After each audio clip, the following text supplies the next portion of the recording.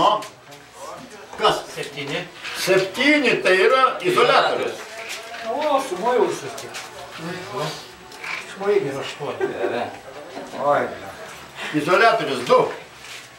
Du yra talša. papuolėm į vieną, sakykime. Ne, ne, ne, ne. Aštuonis Ir toliau Aštuoni. aštuoni. Aštuoni yra kaščiukai.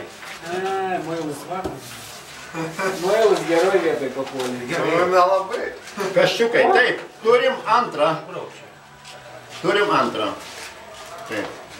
Dabar trečias. kas tau atstovauja? trečias, trečias. Trečias. Trys valtis. Trečias, penktas ir šeštas. Trečias. Trečias tai yra. Pabandom. Pabandom. Pabandom. Pabandom.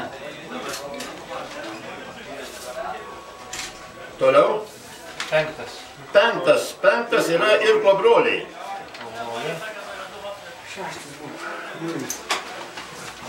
Drąsiai yra išvažiavęs iki keturių. Broliai ir Sakė, Šeštas. šeštas yra muilas.